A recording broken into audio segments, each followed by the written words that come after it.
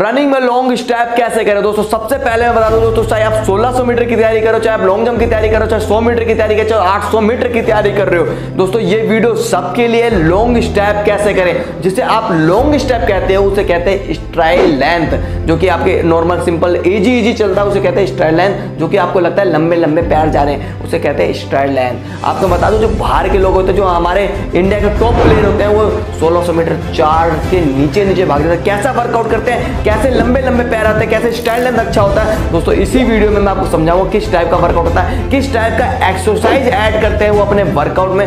Video and तक देखना। और दोस्तों, सबसे पहले मुझे बता दो, आप किस चीज़ की तैयारी कर रहे हो, कौन सा इवेंट करते हो, चाहे आर्मी की तैयारी कर रहे हो सौ मीटर कर रहे हो। कॉमेंट करके मुझे अभी बताओ, ताकि मुझे पता चले मेरी पब्लिक कहाँ कहाँ से है मेरे भाई। सबसे पहले कॉमेंट करो। दोस्तों, मैं बात करूँगा पहला पॉइंट को। आपको सबसे पहले क्या करना मान के चलो आज आपने वर्कआउट करा। अगले दिन आप मॉर्निंग में गए, आपकी क्या है मसल थोड़ी टाइट रहती है, जकड़ी रहती है। तो क्या आप खुद सोच के देखो, जब आपकी मसल जकड़ी रहती है कि आप अच्छा भाग पाओगे, आपको लगेगा मसल रिलैक्स है तो आपकी स्टाइल लेंथ खुलेगी? नहीं खुलेगी। सबसे पहले आपको अच्छे से स्ट्रेचिंग करनी है, ताकि आपकी बॉडी अच्छे से खुले और अच्छा स्टाइल लेंथ अच्छा है और स्पीड अच्छा है। फिर उसके बाद आपको क्या करना है? रनिंग करना, जो इजी जी वॉर्म कहते हैं जिसे इजी जी रनिंग कहते हैं। रनिंग करना, लेकिन रनिंग कैसे करना है, ये वाली वीडियो देखो आप। तो दोस्तों स्क्रीन पर आप देख रहे होगे, जो आपका पंजा है, जैसे कि आपको दिख रहा है या आपको जो मिट्टी है, मिट्टी को पीछे की तरफ़ धकेलना है। अगर आप ऐसे वर्कआउट करते हो वार्म अप करते हो, हर चीज़ आप ऐसे धकेलने वाला करते हो तो दोस्तों आपका रनिंग में काफ़ी अच्छा इंप्रूवमेंट होगा और स्टाइल लेंथ भी आपका अच्छा होगा और स्पीड भी आपकी अच्छी होगी। दोस्तों, मैं बात करूँगा दूसरे पॉइंट की, आपको हडल रनिंग करनी है हडल रनिंग कैसे करनी है, इससे क्या बेनिफिट है दोस्तों आपका स्टाइल लेंथ स्पीड में फ़र्क पड़ेगा, आपको ऐसे समझ नहीं आएगा, आप ये वाली वीडियो देख तो दोस्तों, सबसे इंपॉर्टेंट पॉइंट है ये, अगर आपके पास हडल है तो आपको हडल का सहारा लेना अगर आपके पास बाई चांस हडल नहीं है तो आपको क्या करना है, जुगाड़ कुछ भी लगा सकते हो। चाहे ईट लगा लो, चाहे बोतल लगा लो, जिसमें आप कंफर्टेबल लगते हो, जिसमें आपको रनिंग अच्छा कर सकते हो।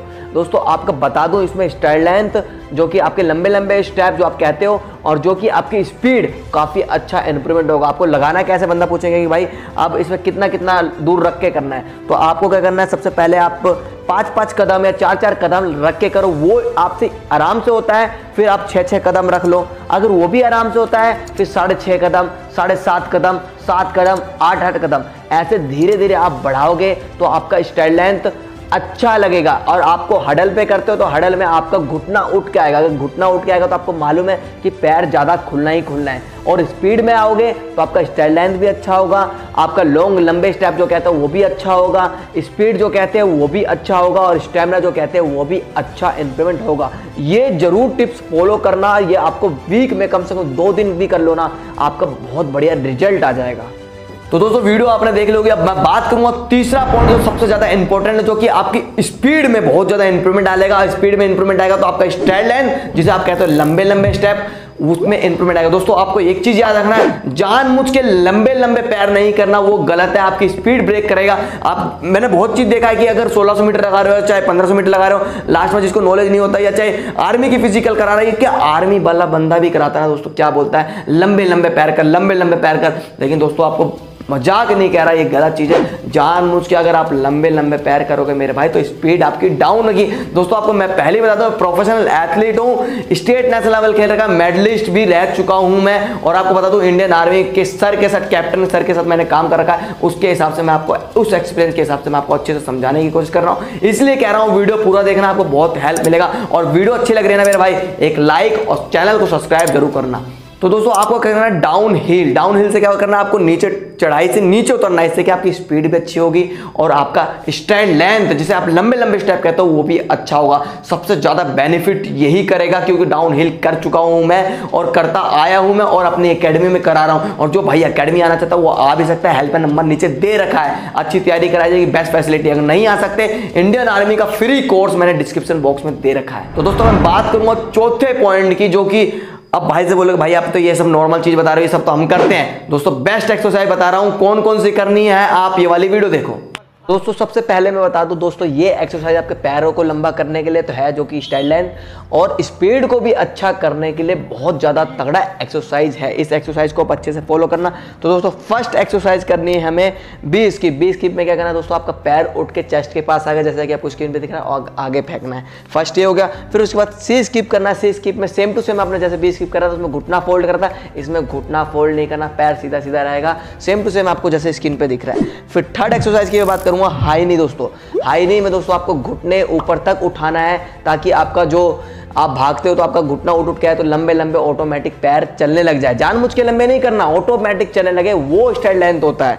फिर बात करूँगा दोस्तों चौथे एक्सरसाइज की लेंजिंग जो कि हमें पैर पहले घुटने को ऊपर से उठा के सीधा फिर रखना है। ये आपको कम से कम दो दो सेट एक एक सेट अच्छे से करते हो तो आपका इंप्रूवमेंट दिखेगा। जैसे स्क्रीन पे दिख रहा है, आपको ऐसे ही करना है। फिर नेक्स्ट एक्सरसाइज करना है, पांचवा बॉन्डिंग बॉन्डिंग दोस्तों, आप दो तरीके से कर सकते हो, या तो रनिंग एक्शन से जैसे हाथ चलाते हो, वैसे कर सकते हो। जैसे कि आपको स्क्रीन पे दिख रहा है, आप ऐसे कर सकते हो। बॉन्डिंग से भी आपका बहुत ज़्यादा पावर में स्पीड में स्टेड लेंथ में बहुत फ़र्क आएगा। तो दोस्तों लास्ट एक्सरसाइज जो कि छठा एक्सरसाइज है, जो कि आपको स्किन पे दिखना है, आपको पूरा पैर खोलना है, फिर नीचे आना है, फिर खोलना है। सेम टू सेम आपको ऐसे एक्सरसाइज करना है। यकीन मानो दोस्तों स्टार्टिंग में आपसे नहीं हो पाएगा एक्सरसाइज लेकिन करते करते ज़रूर होगा।